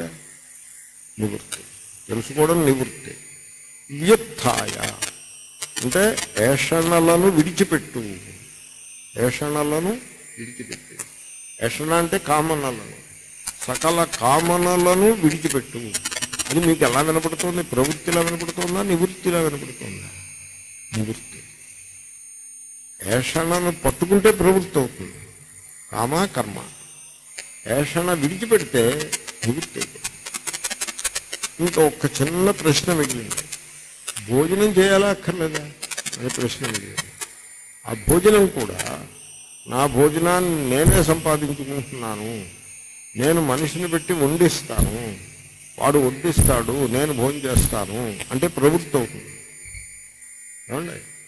చూడండి దేహమునకు భోజనము నిర్ధారితమై ఉన్నది. How do you know how do you know అంటే నేను చెప్పొచ్చు ఏదో ప్రారంధమని విధి అవేవో పేర్లు చెప్ప దైవమని అలా చెప్పొచ్చు. అవన్నీ ఆ మాటలన్నీ కరెక్టే ఉంటే భాష అలా ఉంటుంది. అక్కడ సైన్స్ ఉంది దాంట్లో. ఆ సైన్స్ ఏమిటంటే entropy second law of thermodynamics. Second law of thermodynamics entropy. దేహం చుట్టూ negative entropy sorry positive entropy ఉంటుంది. దేహం లోపల నెగిటివ్ ఎంట్రోపీ ఉంటుంది. ఇప్పుడు ఇక్కడ కూర్చుని ఉన్నాననుకోండి ఈ చుట్టూ రూఫ్ నేల గోడలు ఇవి గాలి వెలుతురు భూమి ఆకాశము వాయువు నీరు ఇవన్నీ పాజిటివ్ ఎంట్రోపీ. ఇవన్నీ పాజిటివ్ ఎంట్రోపీ. ఇక్కడ కూర్చుని ఉన్న ఈ డెబ్భై డెబ్భై ఐదు కేజీలు హోప్ఫుల్లీ బాడీ ఇది నెగిటివ్ ఎంట్రోపీ. అంచేతనే క్లాస్ అవగానే భోజనం దగ్గరికి పరిగెడుతుంది ఈ చుట్టుపక్కలది ఏది భోజనం దగ్గరికి పరిగెట్టదు అది లా ఆఫ్ నేచర్ థర్మోడైనమిక్స్ అంటే థర్మోడైనమిక్స్ అంటే fundamental law of nature and thermodynamics is very close to philosophy it is philosophy philosophy of physics అది. కాబట్టి ది లా ఆఫ్ థర్మోడైనమిక్స్ ప్రకారంగా దీనికి భోజనము నిర్ధారితమై ఉన్నది. ఆ భోజనాన్ని నేను స్వీకరిస్తాను. నాకు ఇవ్వబడుతుంది నేను స్వీకరిస్తాను. నేను స్వీకరించను కూడా. మనస్సు దేహము. మనస్సు పట్టుకొస్తుంది ఫుడ్ని ఏదో ఉపాయంతో దేహం ఆ ఫుడ్ని భక్షిస్తుంది. దేహయాత్ర సాగిపోతుంది. దీంట్లో ప్రవృత్తి ఉందా నివృత్తి ఉందా అంతా నివృత్తి. ఈ నివృత్తి యొక్క రహస్యము తెలుసున్నవాడు మాత్రమే ప్రేమ అంటే ఏమిటో తెలుసుకోగలుగుతాడు. వాడే ఆత్మస్వరూపాన్ని తెలియగలుగుతాడు. వాడికే భ- పరమాత్మ అనే మాటకే అర్థం తెలుస్తుంది. ఇది వెరీ హై క్లాస్ ఫిలాసఫీ ఇది. దీన్ని అనుభవానికి తెచ్చుకోవటానికి మీరు కొంత తపస్సు చేయాల్సి ఉంటుంది. ఓకే? తర్వాత తస్మాన్యాసమేషాం తపసామతిరిక్తమాహు చూడండి మీరు పరమాత్మను తెలుసుకోదలుచుకున్నట్లయితే బయట వెతకడం మానేయాలి. ఒక స్టాప్ సెర్చింగ్ అవుట్ సైడ్ ఇది నివృత్తిది. లోకంలో ఎలా ఉంటుంది? పరమాత్మని వెతికి ప్రయత్నంలో దక్షిణ భారత తీర్థయాత్ర ఉత్తర భారత తీర్థయాత్ర విమానాలు రైళ్ళు బస్సులు ఎక్కి పరమాత్మని వెతుకుతూ ఉంటారు. కదా? ప్రవృత్తి ప్రధానంగా. ఇంట్లో కొందరైతే పరమాత్మని వెతకడం అనే దాన్ని ఒక కెరియర్ కింద మార్చుకుంటారు. ఆయన ఏం చేస్తారంటే భక్తులందరినీ పోగేసి ఓ బస్సు రైలు వాళ్ళతోటి వాళ్ళ ఏజెంట్స్ ఉంటారు. వాళ్ళతోటి రిలేషన్స్ పెట్టుకుని ఈ భక్తులందరినీ ఆ బస్సుల్లో ఎక్కించి దేవుణ్ణి చూపించి అక్కడ దేవాలయాల్లో మళ్ళీ పురోహితులతోటి కూడా క్లోజ్ రిలేషన్స్ పెట్టుకుని ఇలాగా దేవుణ్ణి వెతకడం అనే ఒక ప్రోగ్రామ్ని ఒక కెరియర్ కింద ఒక ఆయన మార్చుకుని ఉంటాడు. అలాంటి వాళ్ళు కూడా మీకు సమాజంలో కనపడతారు. ఇదంతా ప్రవృత్తి రూపంగా ఉంటుంది దేవుణ్ణి వెతకడం. అంచేతనే దేవుణ్ణి ఏదో చూశామని ఉవ్విళ్ళు ఉండడం తప్ప అక్కడ దేవుణ్ణి చూడడం అంటూ ఏమీ ఉండదు. ఇక ఇప్పుడు పదివేలు ఖర్చు పెట్టుకుని వచ్చి ఏం చేసామంటే ఏమోనండి నాకే తెలియలేదు ఏం చేశానో ఏదో వెర్రి వేషం వెర్రిలాగా ఉంది తప్పిస్తే నాకేమీ అర్థం కాలేదు అన్నాడు అనుకోండి వీడు. ఎలా ఉంటుంది? అలా కాకుండా నేను దేవుణ్ణి చూసి వచ్చాను అన్నాడు అనుకోండి. అప్పుడు ఎలా ఉంటుంది? అంచేత ఆ మాట అంటాడు. అర్థమైందండి? కాబట్టి చూడండి మీరు బయట వెతకడం మానేయాలి. అప్పుడే మీకు లోపల మీ పరమాత్మ స్వరూపం మీకు తెలుస్తుంది. ఇప్పుడు ఇది ప్రవృత్తి నివృత్తి? ఇది నివృత్తి. ఓకే? తర్వాత ఇంకొకటి చెప్తా. మీకు ఆనందము కావాలా అక్కర్లేదా? కావాలి. ఆనందం కొరకు మీరు బయట వెతుకుతున్నంత వరకు మీకు లభించేది ఏదో తెలుసిన? దుఃఖం. ఆనందం లభించింది. అంటే ప్రవృత్తి ద్వారా మీకు ఆనందము లభించదు. ఇవన్నీ కూడా most fundamental laws of Vedanta it is something like Newton's laws Newton's laws are very basic laws more advanced laws of physics లాంటి మాటలు uh, లాస్ మీరు బయట వెతుకుతున్నంత వరకు మీకు ఆనందము లభించదు. ఇది తెలుసుకోవడానికి కొంచెం కష్టం అవుతుంది. ఎందుకని మనిషి ప్రవృత్తికి దాసుడై ఉంటాడు. ప్రవృత్తికి ఎడిక్ట్ అయి ఉంటాడు. ఏమండి? Sugar is the worst poison అని మీరు ఎవరికైనా చెప్పి మీరు వాళ్ళు అర్థం చేసుకునేట్లా చేయగలరా? Sugar is the worst poison అని మీకు ఎవరికైనా చెప్తే ఫైవ్ సిన్స్లో ఎస్ షుగర్ కూడా ఉంది. ఫైవ్ పంచమహాపాతక. ఫైవ్ సిన్స్లో ఎస్ షుగర్ ఉంది. షుగర్ పాయిజన్ అని చెప్తే ఎవరైనా మీకు అర్థం చేసుకుంటారా? చేసుకో. తర్వాత మీకు కాఫీకి ఇప్పుడు సిగరెట్కి ఎడిక్షన్ అంటే అర్థం చేసుకుంటారు. తాగుడుకి బానిస ఎడిక్షన్ అంటే ఒప్పుకుంటారు. కనీసం కాఫీకి ఎడిక్షన్ అంటే ఏదో ముక్కుతూ మూలుగుతూ అది కూడా ఒప్పుకుంటారు. కాఫీ ఎడిక్షన్ కెఫీన్కి ఎడిక్షన్ అంటే ఒప్పుకుంటారు. షుగర్ ఎడిక్షన్ అంటే ఒప్పుకుంటారా? షుగర్ ఎడిక్షన్ ఏమిటండి? బట్ వాట్ పీపుల్ హ్యావ్ ఈ sugar addiction it's an addiction కాబట్టి జనులు చాలా మూర్ఖంగా ఉంటారండో. తెలుసుకునే ప్రయత్నం చేయరు. ఇదంతా ఎందుకు చెప్పారంటే నేను చెప్తున్న లాస్ అవి సాధారణ జనులు స- సరళంగా తెలుసుకునేట్లా ఉండదు అది.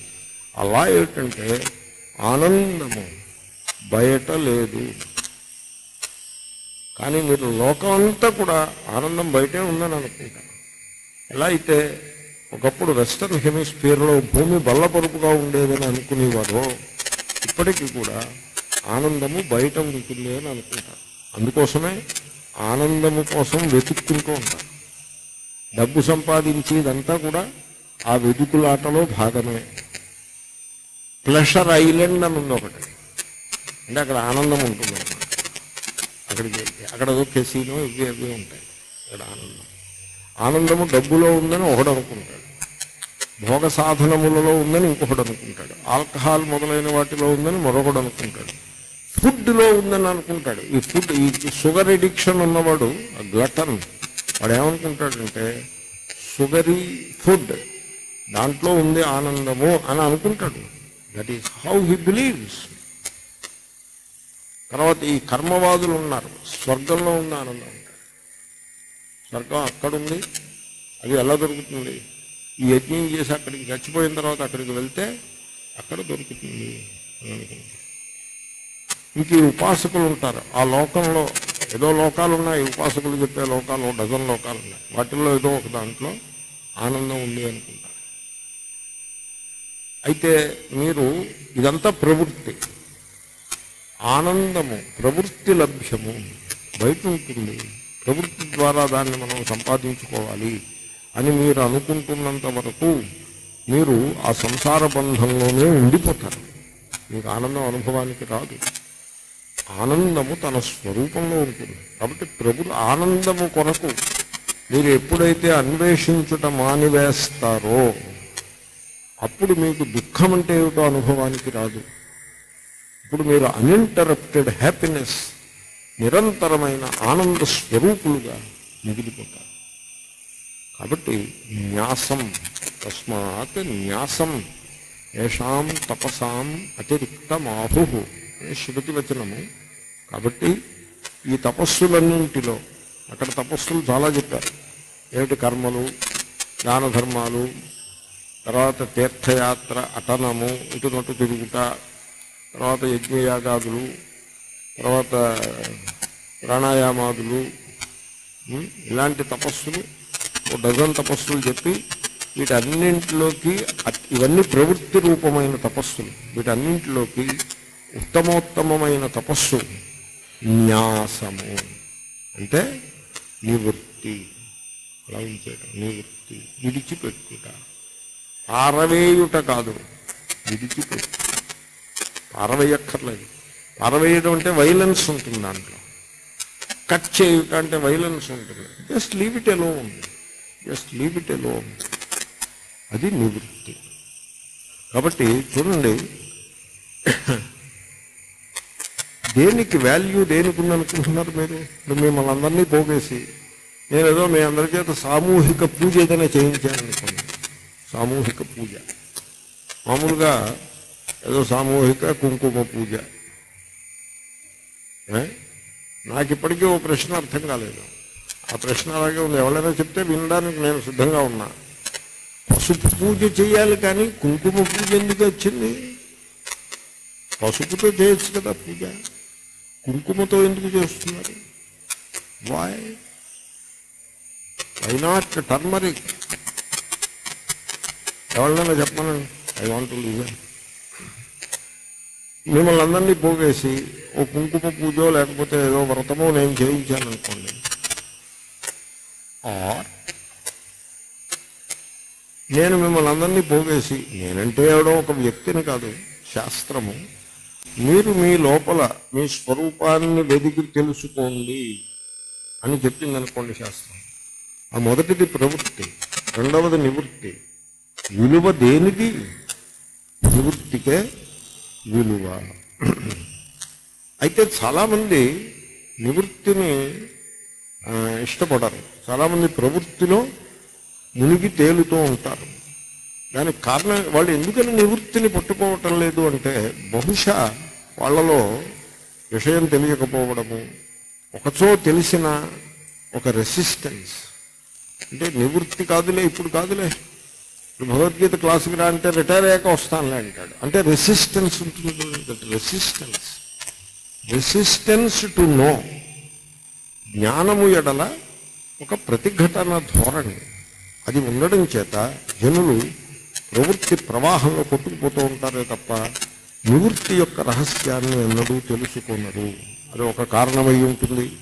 ఇంకో కారణం ఏంటంటే ఈ ప్రవృత్తినంతని వదిలిపెట్టేస్తే మన బ్రతుకు ఏమైపోతుందో మనం ఏమీ కాకుండా అయిపోతామేమో అనే భయం కారణంగా కూడా ఆ ప్రవృత్తినే పట్టుకుని ఉంటారు తప్ప నివృత్తి వైపు మళ్ళరు. ఇది ఒక సమాజంలో ఉన్నటువంటి ఒక దోషము. కనుక మనిషి తన స్వరూపమును అరయవలేము. అయితే ఒక ప్రశ్న ఉదయిస్తుంది. ఇప్పుడు చేస్తున్న పని మానేయాలా? చేస్తున్న పనులు మీరేం మానక్కర్లేదు. మీరు చేస్తున్నారా? చేసేది మీరా? కాబట్టి కర్మస్వరూపాన్ని తెలుసుకోవాల్సి ఉంటుంది తప్ప మళ్ళీ ఇక్కడ జ్ఞానమే ఉంటుంది చేస్తున్న పనిని మాననక్కర్లేదు. ఇప్పుడు డాక్టర్ ఉంటాడు. రోగాన్ని తగ్గిస్తాడు. డాక్టర్ రో ఇప్పుడు డాక్టర్ రోగాన్ని తగ్గిస్తాడని రోగి అనుకుంటాడు మనం అనుకుంటాం. శోభగా ఉంటుంది. డాక్టరే అనుకుంటే శోభగా ఉండదు. మీకున్న విషయం చెప్తున్నా డాక్టరే అలా అనుకుంటే అది ఏమీ శోభగా ఉండదు ఎందుకంటే సర్జరీకి సంబంధించిన ఇంత లావు పుస్తకం ఉంటుంది ఆ పుస్తకంలో first sentence ఏమనుందంటే the surgeon operates and sews the wound the body heals అని రాసి కాబట్టి మీకు ఏది హీల్ చేస్తుంది? సర్జన్ హీల్ చేస్తాడా? బాడీ హీల్ చేస్తుందా? కాబట్టి సర్ సర్ ఆయన పాపం సర్జరీ చేశారు మనకి చాలా ఉపకారం జరిగిందని రోజు అనుకోవటం వరకు చాలా అందంగా ఉంటుంది బాగుంది కరెక్ట్ అది. కానీ సర్జనే అలా అనుకుంటే నో నో డజన్ వర్క్ కాబట్టి యు డూ యువర్ వర్క్ మీ కర్తవ్య కర్మను మీరు చేస్తూనే ఉండాలి. ఆనెస్ట్ ప్రొఫెషన్ దాన్ని చేస్తున్న డాక్టర్ కానీ ఇంజనీర్ కానీ వాటెవర్ లేకపోతే పాఠం చెప్పడం కానీ whatever profession you do it and continue you దాన్ని మానేయమని చెప్పట్లేదు. కానీ ప్రవృత్తి మిమ్మల్ని దరి చేర్చదు ప్రవృత్తి కల్పితము. మీరు దేహేంద్రియాదుల యందు ఆత్మబుద్ధి కలిగి ఉంటే తప్ప అసలు ప్రవృత్తి నీ స్వరూపంలో లేనే లేదు. కాబట్టి మీ స్వరూపములో ప్రవృత్తి ఉండదు. ప్రవృత్తి ఉంటుంది. ప్రవృత్తి ఉంటుంది. మీ స్వరూపంలో ప్రవృత్తి భాగము కాదు అని మీకు తెలుసుకుని ఏ కొద్దిపాటి సమయం దొరికినా మీ లోపల మీరు నిరీక్షణ ఆత్మ నిరీక్షణ చేసుకుంటూ మీ స్వరూపమును తెలుసుకునే ప్రయత్నాన్ని చేసుకుంటూ ఏ కొద్దిపాటి సమయం వచ్చినప్పటికీ తన ఎందు తాను తనతో తాను తానుగా తాను నిలిచి ఉందిట ఆత్మనిష్ట అనేటువంటి అవకాశాన్ని చేజార్చుకోరాదు. ఆ నివృత్తిని మీరు ఎప్పుడైతే ప్రారంభం చేస్తారో దట్ ఈజ్ ఎనఫ్ మీరు మీ స్వరూపమును తెలియగలుగుతారు. మీకు పరమాత్మ అనుభవానికి వస్తుంది. అపూర్ణమైన ప్రేమ మీకు అనుభవానికి వస్తుంది. న్యాస చేయటి కర్మ గొప్పదా? న్యాసము గొప్పదియా? అని ప్రశ్న వేసుకున్నా. అంటే ప్రవృత్తి గొప్పదా? నివృత్తి గొప్పదా? అని ప్రశ్న వేసుకున్నా. ఇప్పుడు చూడండి. మీకు జ్వరం వచ్చిందనుకోండి. జ్వరం వస్తే డాక్టరు మందు ట్యాబ్లెట్ ఇస్తాడు ట్యాబ్లెట్ వేసుకుని మీరు ఇటు అటు తిరగకుండా అలా పడుకుని ఉండండి అని బెడ్ రెస్ట్ ఉండండి అని ఇస్తాను ఎందుకంటే మీరు ప్రవృత్తి ద్వారా ఆ ట్యాబ్లెట్ పనిచేయదు ఆ ట్యాబ్లెట్ పని చేయాలంటే మీరు బెడ్ రెస్ట్ మీరు రెస్ట్ తీసుకోవాలి.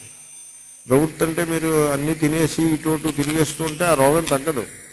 ఆ ట్యాబ్లెట్ పని చేయాలంటే కూడా మీరు నివృత్తిలో ఉండాలి.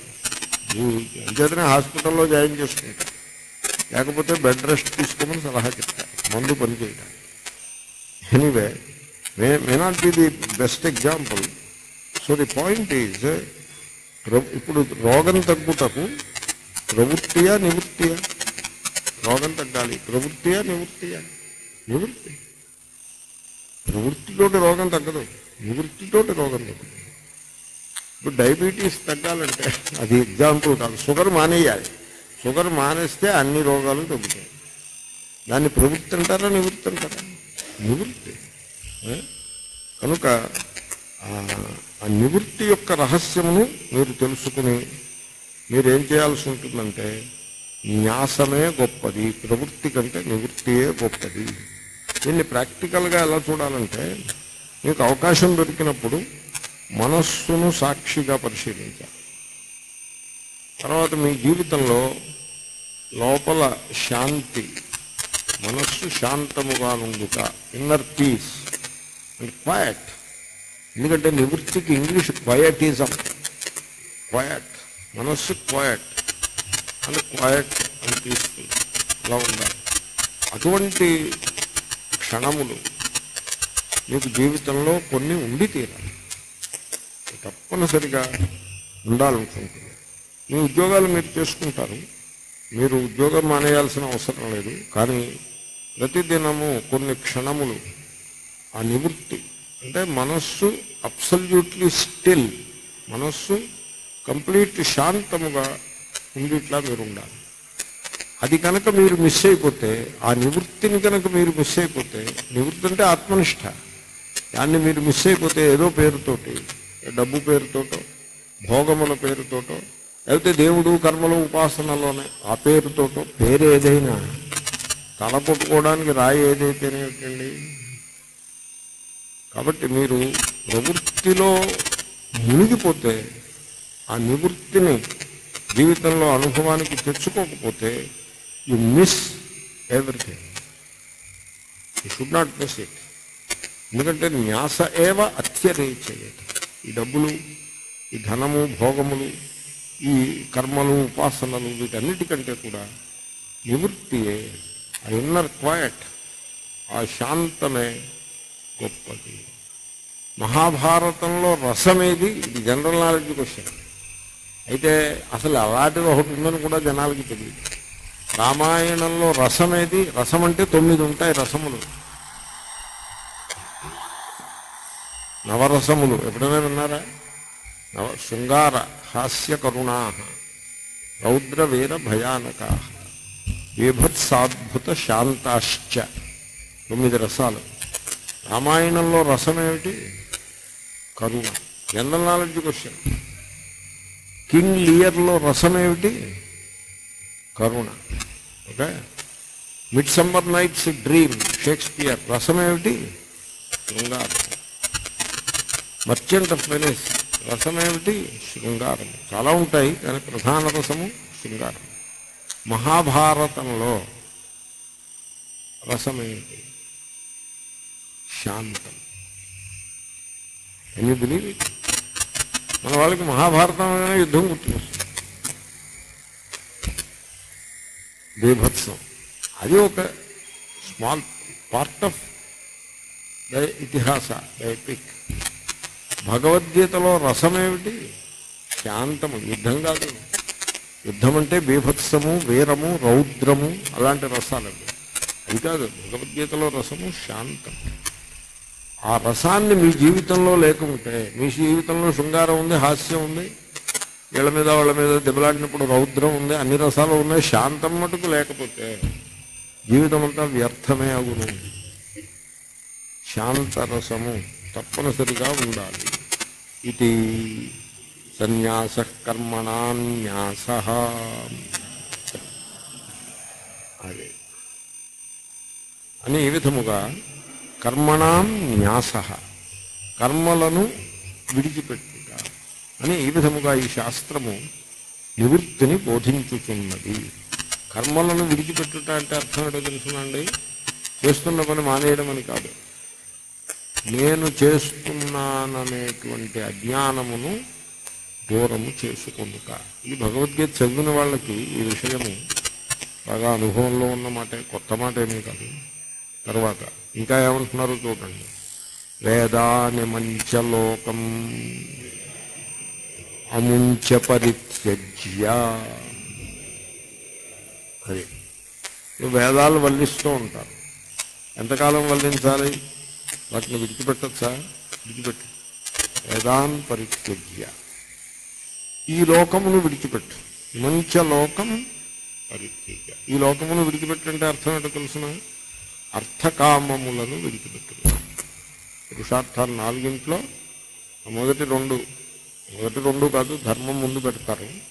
అర్థకామ అనే రెండు పురుషార్థములను విడిచిపెట్టింది అముంచ పరిత్యజ్య. పరలోకమును కూడా విడిచిపెట్టము అంటే ధర్మమును కూడా విడిచిపెట్టము. ధర్మము అంటే పుణ్యం. దాన్ని కూడా విడిచిపెట్టము. ఏమంటే మీరు మీరు చెప్పండి. మీరు పొద్దున్న పదింటికి ఆఫీస్కి వెళ్ళారనుకోండి ఐదు గంటల వరకు ఏం చేస్తారు? అర్థ. డబ్బు. డబ్బు కోసం పని చేస్తారు. ఐదింటి ఇంటికి వచ్చి రాత్రి పది గంటలకు నిద్రపోతారు. ఆ నిద్రపోయే వరకు ఏం చేస్తారు? భోగము.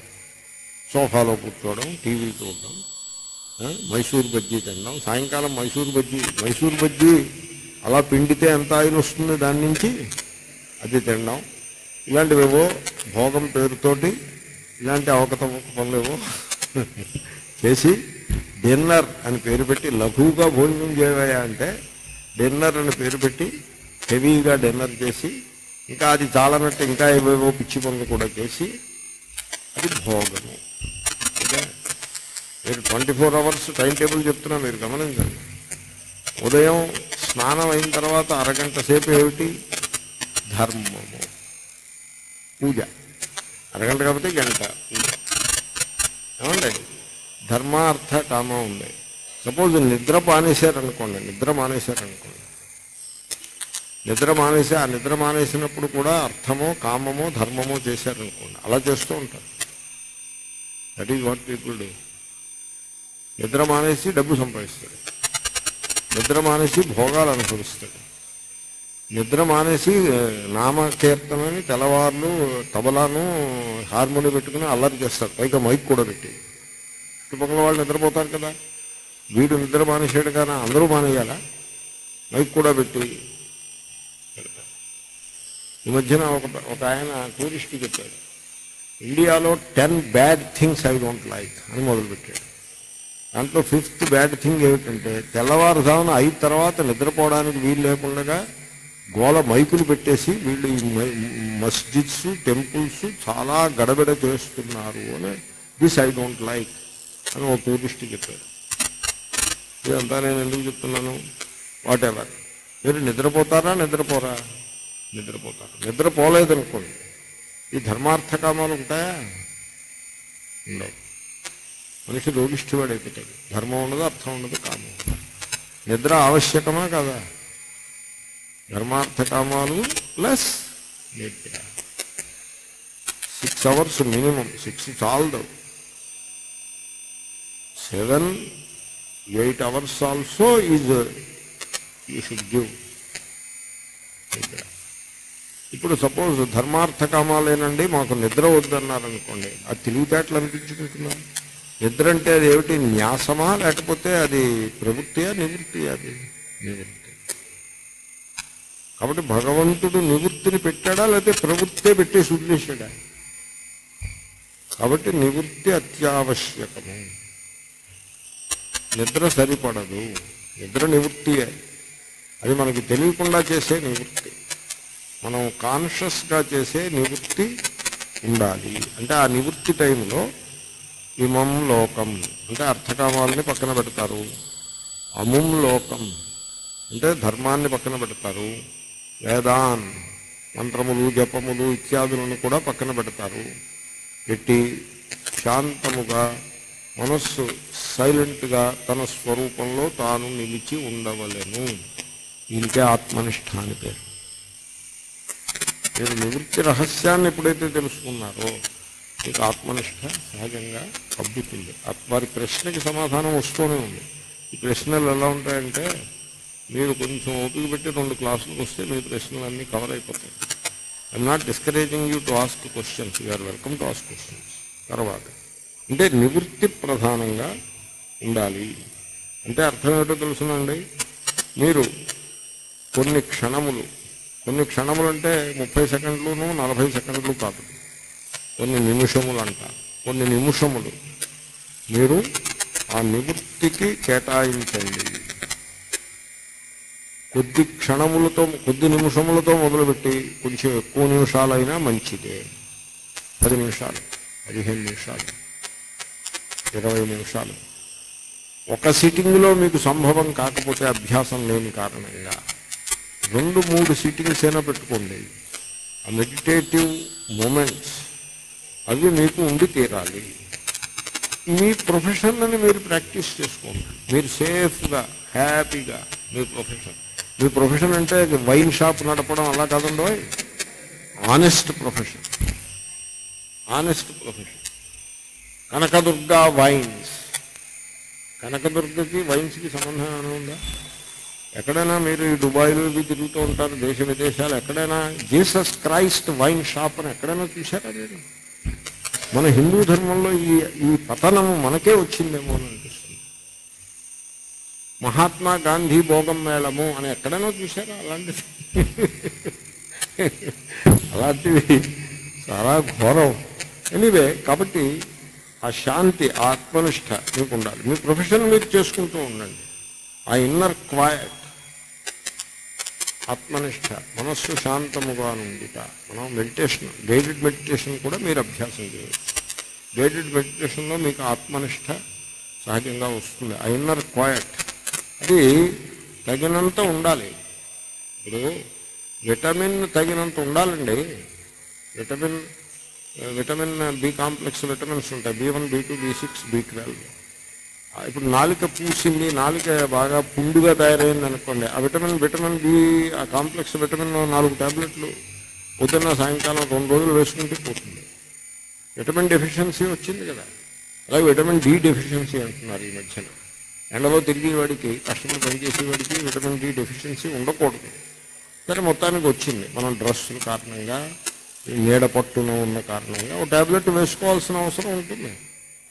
విటమిన్ ఏ చూపు సమస్యకి విటమిన్ ఏ. ఈ రకంగా విటమిన్ అనేది ఎంత అవసరమో ప్రతిరోజు మనస్సు శాంతముగా నుండుట అంత అవసరం. ఆ నివృత్తి అదే ఆత్మనిష్ట. మీరు మంత్రజపం మంత్రాలు కొట్టి పోషిస్తే అది నివృత్తి అవ్వదు. అక్కడ వేదాన్నం చెప్పారు కదా. ప్రత్యేకించవలసిన వాటిల్లో. మంత్రజపము ప్రవృత్తియా నివృత్తియా నివృత్తి చిన్మయానందజీ మహారాజ్ చెప్పేది. మంత్రజపం చేస్తుంటే ఒక స్టేజ్ వస్తుంది. ఆ స్టేజ్లో నీకు ఇంత మంత్రం రిపీట్ చేయాలని అనిపించదు. సైలెన్స్గా ఉండిపోవాలని అనిపిస్తుంది. అలా అనిపించినప్పుడు నువ్వు మంత్రాన్ని విడిచిపెట్టేయి. ఆ సైలెన్స్నే పట్టుకో అని చెప్పారు మంత్రజపం యొక్క ప్రయోజనం కూడా నివృత్తియే. అది పర్యవసానము నివృత్తియే. ఓం అన్నదానికి ప్రయోజనము నివృత్తియే. ఓం తర్వాత వచ్చే సైలెన్స్ కాబట్టి ఈ నివృత్తిని నీవెన్నడూ విడిచిపెట్టకు. ఈ నివృత్తి క్షణములు ఏవైతే నిమిషములు ఏవైతే ఉంటాయో అవేం చేస్తాయో తెలుసునండి ఆత్మజ్ఞానానికి ఆటంకములైన దోషములనన్నిటినీ కూడా కాల్చివేస్తాయి. చిన్న మెడిటేషన్ చేద్దాం. ఈ పాఠం ఇలాగే ఉంటుంది. మెడిటేషన్ చేసి will conclude ఈ session. ఓకే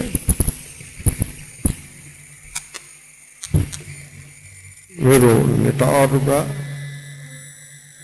వెన్నెముకను నిటారుగా ఉంచి కూర్చుండాలి. It is natural position of the backbone నిటారుగా.